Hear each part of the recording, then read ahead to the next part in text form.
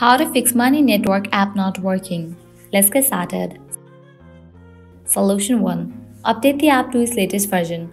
For that, launch your App Store or Play Store.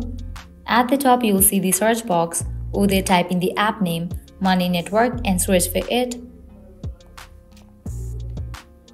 After app appears, at the right corner of the app, you will find the option of Open or Update. If you find the option of Update over here, just click on it and update the app to its latest version.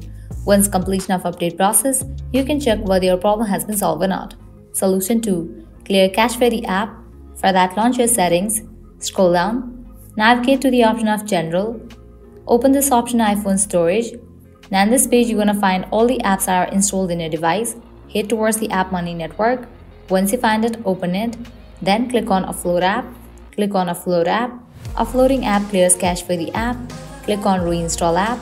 Once you reinstall the app, you can check whether your problem has been solved or not.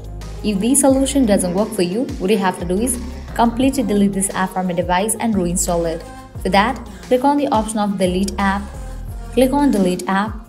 With that, you just deleted this app from your device. Now you can close this. Launch your App Store or Play Store, search for the App Money Network. Once app appears, install it. By following all these steps, your problem will be fixed. So this is how you can fix Money Network app not working. At the end, if you guys find this video helpful, don't forget to like, share and subscribe to our channel. Thank you.